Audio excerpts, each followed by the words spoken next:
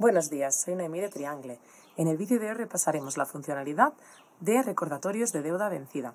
Todas las empresas necesitan realizar su proceso de cobro de una manera ágil y automatizada. Es por esto que Business Central nos ofrece la funcionalidad de recordatorios, mediante los cuales podremos recordar a nuestros clientes las facturas que tienen vencidas. En el vídeo de hoy veremos cómo configurarlos y cómo ponerlos en marcha.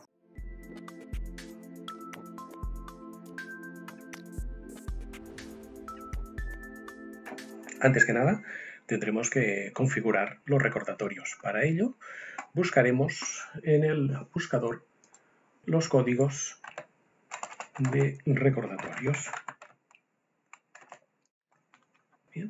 tendremos los términos de recordatorio, donde se podrán definir diferentes eh, códigos donde configurar las condiciones de los recordatorios y posteriormente estos códigos tendremos que asignarlos a las fichas eh, de los clientes. Con los códigos se definen cómo y cuándo se enviará un recordatorio. Es posible definir si se desean cargar intereses o bien comisiones eh, por la gestión de estos eh, recordatorios por cobros no satisfechos. Se pueden configurar tantos códigos como se deseen. Bien, al crearlos asignaremos un código y una descripción y le indicaremos un número máximo de recordatorios. Por ejemplo, podríamos emitir un máximo de tres recordatorios. Podemos establecer un importe mínimo. Si los cobros eh, pendientes no superan un importe, no se generará el recordatorio eh, correspondiente. Adicionalmente, podríamos registrar intereses adicionales y podemos eh, aplicar recargos si se desea registrarlos contablemente. O además eh, tendremos eh, recargos adicionales que se aplicarán al generar el recordatorio. Por cada uno de estos términos tendríamos una serie de niveles de recordatorio. Cada recordatorio tendrá niveles predefinidos y cada nivel incluye reglas acerca de cuándo se debe emitir el recordatorio. Accediendo a la opción de niveles, dispondremos de los niveles que se han definido en este caso para este recordatorio. Tendríamos tres niveles, se podrían emitir hasta, un, hasta estos tres eh, recordatorios, donde eh, se le puede conceder un periodo de gracia a la fecha de vencimiento del cobro pendiente antes de incluirlo en la relación del recordatorio, podemos aplicar una fecha de vencimiento del recordatorio emitido para saber cuándo tendremos que recalcular el siguiente nivel de recordatorio. Aplicaríamos, eh, podemos aplicar el cálculo de intereses establecidos en la ficha del cliente o bien un importe de recargo por cada uno de los cobros eh, incluidos. Puede ser un recargo eh, normal o bien un recargo, un segundo recargo adicional con un tipo de cálculo,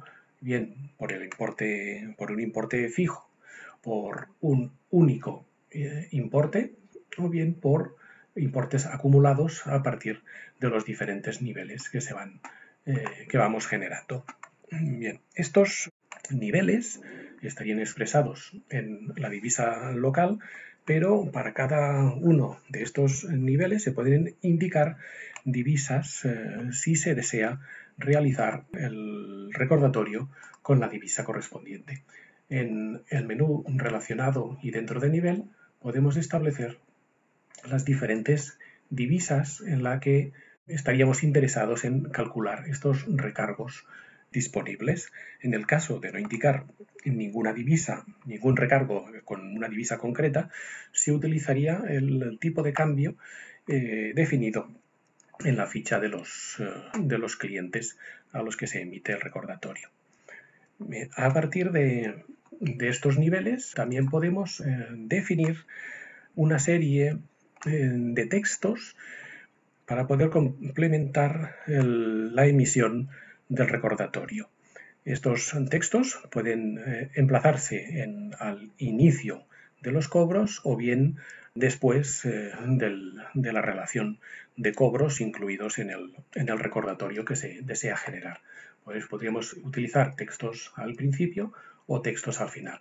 Consultemos los del, los del final, donde estaría establecido un texto mm, donde se aplicará y se añadirá en el momento de realizar el recordatorio.